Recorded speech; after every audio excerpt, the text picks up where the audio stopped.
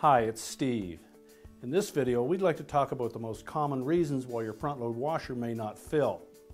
We'll look at some of the components that may cause this problem, where they're located, and we'll also show you how to test them to determine if they're defective or not. Now before we start any troubleshooting, the first thing we want to do is verify that the obvious is correct. Make sure that the faucets are turned on. Also check the inlet fill hoses, make sure that they've not been kinked, if the washer has been recently installed or recently moved. And we'll also need to verify that you have adequate water pressure in your home. So check with a tap that is close to the washer and verify that you have enough pressure. Once we've eliminated those issues, we'll next go to the most logical reason why your washer may not fill, and that would be the inlet fill valve. Now front load washers use a variety of inlet fill valves or inlet water valves. Often you'll find that there are two inlets to the valve, both a hot and a cold. On some models you may have individual valves where they maybe feed cold water into one valve and have a separate valve for the hot water line. Now for a front load washer to not take on water, typically the fill valve would have to fail on both sides, both the cold and the hot, for it not to take down any water, unless you had it set to a straight cold water fill or a straight hot water fill. Now the first thing to check on your inlet water valve would be the inlet screens. First of all, verify that they are still intact and inspect them for any signs of trash that may have built up in them. A plug screen may not allow any water into the valve or very little at all. So first of all, determine that, remove the hoses, check the screens. You can pull them out typically and clean them, but always remember to put them back in place. If they're damaged, you'll need to replace the whole valve. The same applies for either style of valve, whether it is a single cold water valve or a hot water valve or a combination of both. Check the screens first, make sure they're clean. If you've verified that, we next need to determine whether or not we have a faulty coil on the valve or whether the internal mechanism of the valve is restricting water flow through it. With a typical water valve that has both a hot and a cold water inlet, you typically would not find both sides of that valve to fail. If you've picked a wash cycle that uses only cold water, you may not get any fill if the cold water solenoid was not operating. Conversely, if you picked a straight hot water fill, you would not get any hot water if that portion of the valve had failed. So to help determine whether or not the valve may be at fault, select a warm water fill or a warm water wash and determine whether hot or the cold or either of those is functioning properly. If you're only getting either cold or hot water entering your washer, you then determine that you have a defective valve and you'll need to replace it. Now, some valves are repairable. You could test the individual solenoids on those valves for continuity using a multimeter. Now when checking continuity on the individual coils or solenoids for those valves, you'll typically find they'll be somewhere between 500 and 2000 ohms. So simply place your meter leads across the terminals and verify that you do have continuity.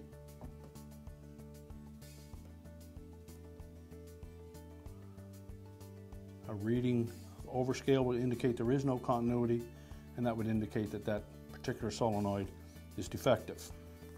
With this style of a valve, the same principle applies. Check the individual cold water solenoid. There's also a solenoid on this particular one for warm water, a hot water solenoid.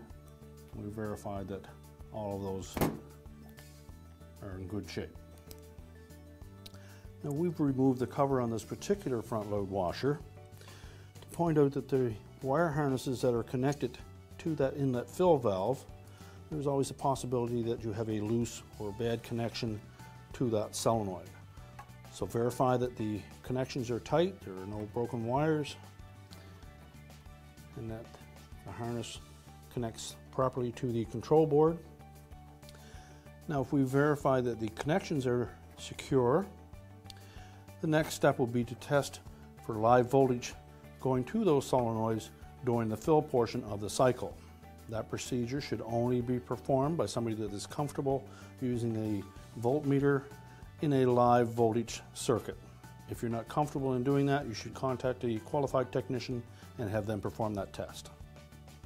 Now another component that may cause a no-fill condition in your washer is the door lock or door switch assembly.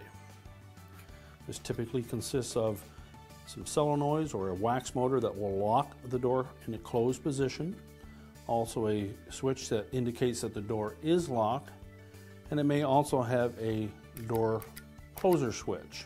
Typically those are located in the center opposite the hinge side. We have the door switch itself. The internal door lock switch and solenoids are not accessible from the outside. If this part fails, you will not get any fill, but typically you would also not have any motor action or door locking ability at all, and that would typically be your first indication that that part is at fault. When no functions will operate, suspect that your door latch or door lock assembly is the fault. It will also cause that condition of no fill as well. You can test that door switch assembly using a multimeter.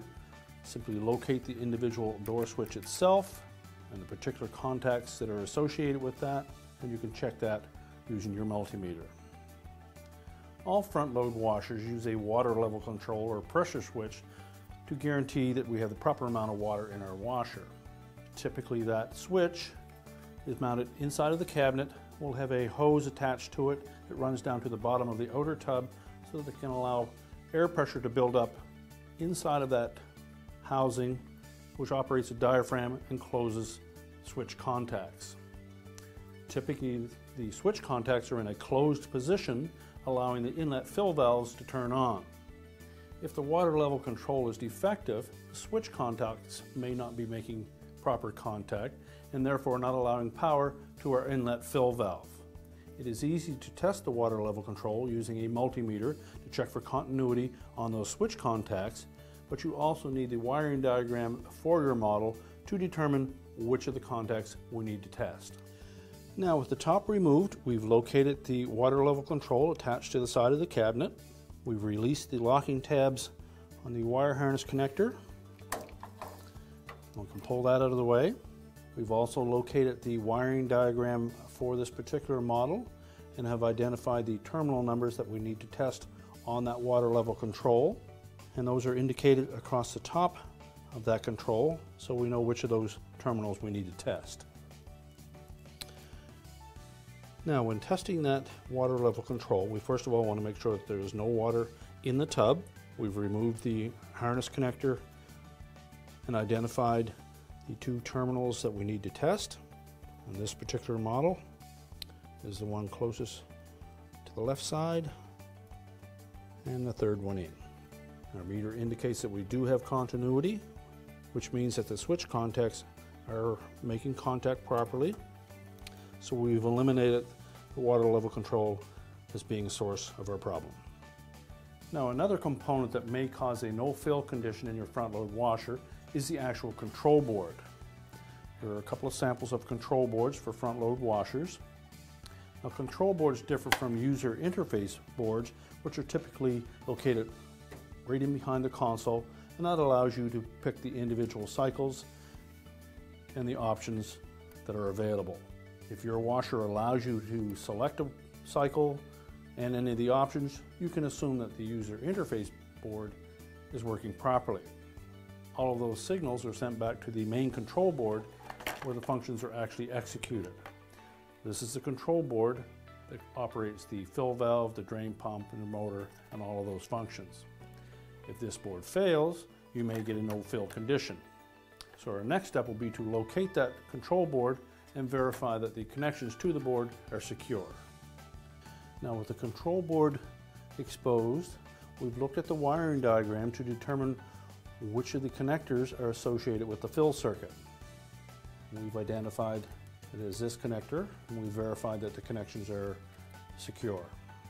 There's also a connection from the water level control. We need to verify where that is at and that the connections are secure there as well. It's a good idea to remove the actual connector itself.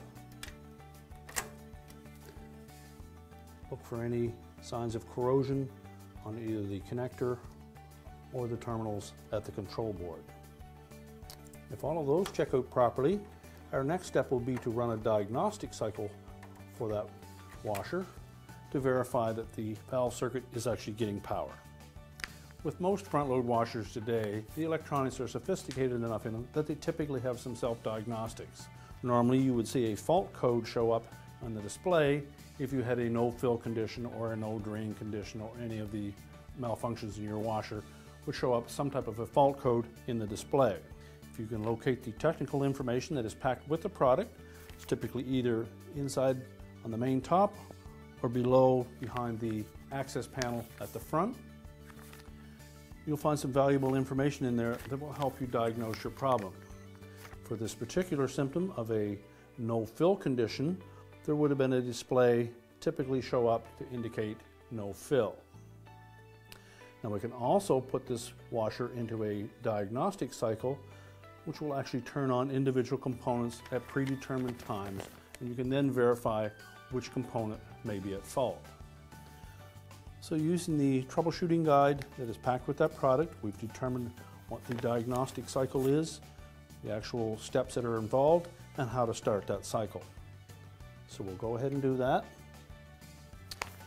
Now this step of the cycle, it should be filling with water. Listen for the sound of the inlet water valve solenoids being energized and typically they will give a buzzing sound. If you don't hear them, that would indicate that you're not getting any power to that solenoid typically. If you do hear the solenoid buzzing and still no water is entering, that's when you would look for a defective mechanical portion of that valve. And as expected, this washer has come up with a fault code.